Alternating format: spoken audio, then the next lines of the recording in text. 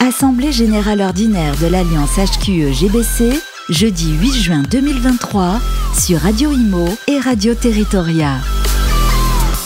Nous sommes euh, en compagnie de Raphaël Ménard, le président du directoire de la REP. Bonjour Raphaël. Bonjour. Et Marjolaine Meignet-Milfer. Bonjour Marjolaine. Présidente de l'Alliance HQE. Eh bien, on vient de participer, d'écouter votre conférence hein, sur cette trajectoire plus 4 degrés qui nous amènerait à plus de 50 degrés dans les villes euh, d'ici peut-être pas si longtemps que ça.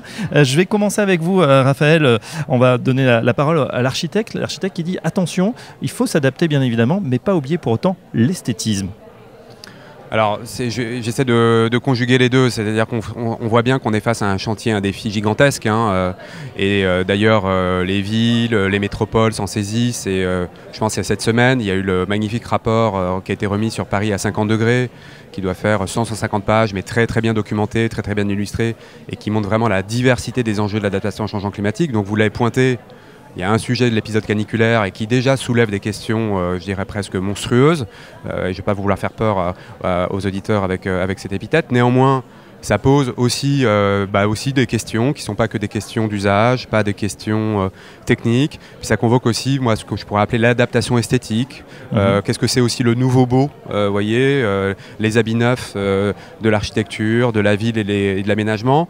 Et on voit bien que là aussi, il y a un vrai travail de débat public à installer pour faire un peu bouger les lignes. Oui. Pourquoi, pas- pourquoi Raphaël, concrètement, on, en- on trouve trouvé qu'on n'en parle pas assez aujourd'hui, qu'on a l'impression qu'on va, voilà, on va tout repeindre en blanc, végétaliser un peu, puis ça suffira? Bah, C'est-à-dire que parfois, euh, traduit dans l'architecture, la question de, l'adaptation au changement climatique, c'est un peu de mettre euh, un peu euh, quelques, quelques, de la végétation un peu sur les toits, un peu en façade, et puis on dit que voilà, tout ça ira très bien. Et puis on se dit que dans les aménagements publics aussi, euh, on va mettre un peu plus d'arbres de haute tige. Encore faut-il choisir, et c'était bien, bien rappelé par Valérie Masson-Delmotte, qu'il faut choisir aussi des bons arbres Bien et sûr. des arbres qui sont euh, rési- résilients et robustes euh, vis-à-vis bah, euh, d'épisodes hydriques, de stress hydrique, euh, vis-à-vis euh, de, de nouvelles euh, faunes invasives, euh, etc., etc. Donc on voit bien qu'il y a, il y a un, un chantier systémique euh, absolument gigantesque, mais encore une fois, je le vois parce que c'est vrai que lorsque euh, côté AREP, lorsqu'on développe un projet, un,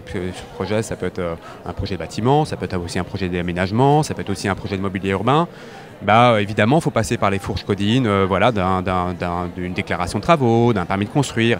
Et parfois, ce permis de construire et, rentre dans un secteur patrimonial. Et dès lors, il faut aussi engager une discussion avec, par exemple, les architectes du bâtiment de France ou tout simplement des concitoyens qui aimeraient en fait que euh, voilà que qu'on on soit en train de rentrer dans une nouvelle guerre climatique, mais que tout risque pareil, tout, tout- tout reste pareil. Et je pense pas que d'un côté on puisse, par exemple, hein, dans le cas de Paris, bah, peut-être euh, figer dans le temps euh, le- les toits parisiens, comme sûr. dans le dessin, dessin animé de Ratatouille, et qu'ils soient voilà, mis au patrimoine mondial de l'UNESCO. Je pense que derrière, si on fait ça, bah, qu'est-ce qu'on va avoir? Je pense qu'esthétiquement, on aura tout paumé, parce qu'on aura des climatiseurs qui seront installés sur les merveilleux balcons filants Et puis, euh, je vous raconte pas aussi euh, l'impact énergie, et- énergie-climat euh, d'une bestiole aussi énergivore qu'un climatiseur.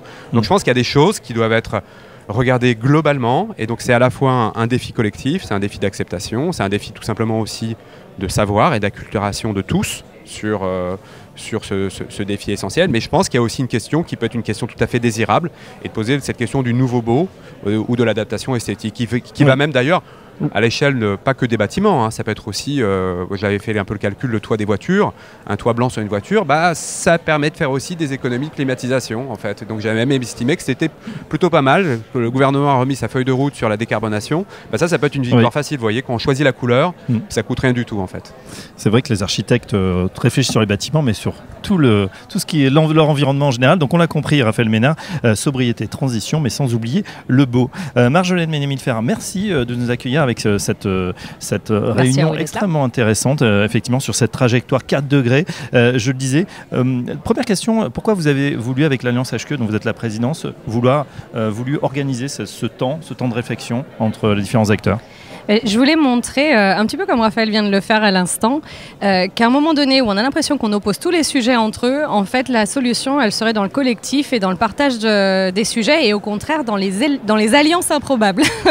la question de, et c'est pas improbable pour le coup, l'esthétisme avec la, protection de l'environnement, mais c'est vraiment ces sujets-là qu'on essaye de porter ensemble à, à l'Alliance HQE, c'est qu'on a des experts de toutes les thématiques et on arrive à se poser les questions en même temps euh, ben, de bruit et d'isolation, euh, de, euh, ben, de, biodiversité en même temps qu'on se pose la question d'économie circulaire, qu'on se pose la question de comment on va relier par exemple le conseiller municipal et le ministre, comment on va poser le sujet de la métropole ou du, village. et, l'intérêt en fait qu'on a à faire ça, c'est que dans un monde qui se transforme aussi vite, dans un monde où on a besoin de s'adapter à cette transformation. Parce qu'en fait, c'est pas tant le monde qui se transforme que nous qui devons nous adapter et transformer avec lui, parce que n'a pas tellement le choix.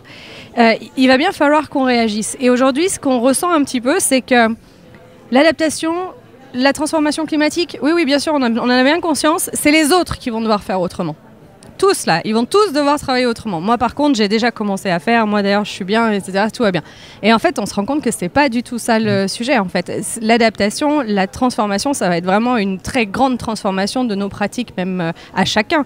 C'est à chacun de se réinventer finalement. Voilà, et Ravel le disait tout à l'heure, on est tous à l'école en ce moment. On est tous en train d'apprendre euh, la manière dont on va faire face en permanence. on écrit en même temps le mode d'emploi. Absolument, et pour ça, il faut être bienveillant les uns avec les autres. Il faut euh, avoir de la reconnaissance pour les compétences des uns et des autres, pour le rôle de chacun euh, dans, dans, les enjeux qui sont euh, en face de nous.